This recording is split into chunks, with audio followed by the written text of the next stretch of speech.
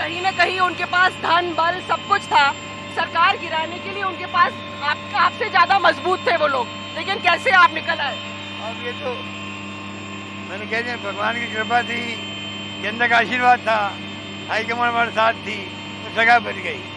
Sir आप अपने आप को लकी लकी मानते हैं पॉलिटिक्स में। आप बहुत लकी हैं। मैं संतुष्ट नहीं अति संतुष्ट पॉलिटिशियन हूँ। अति संतुष्ट पॉलिटिशियन हूँ मैं। सब कुछ ज़िंदगी मुझे काम करने से मिले तीन बार मुख्यमंत्री बन गया तीन बार केंद्रीय मंत्री रह लिया। बहुत दूर मिला सर आप 24/7 आप 24 घंटा पॉलिटिक्स करते हैं। आ, मैं मैं वैभव से बात करती थी तो कहता था कि पापा तो 24 24/7 पॉलिटिशियन है। बचपन से ही है। बच एन में था एन में तब से ट्वेंटी फोर सेवन है अब तो करना ही है ज़िंदगी बिता दी है पूरी। आपको मज़ा आता है राजनीति में?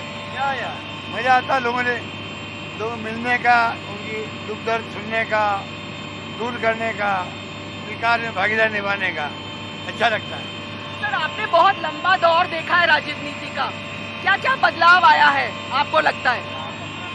अब बदलाव तो बहुत कुछ आया है। तभी ऐसी सरकार आई है जो इनका लोकतंत्र यकीन नहीं है। लोकतंत्र यकीन का नहीं है। ये लोग ईडी सीबीआई इनकम लेकर दुरुपयोग कर रहे हैं। संविधान की धज्जियाँ उड़ा रहे हैं जो उचित नहीं कहा जा सकता।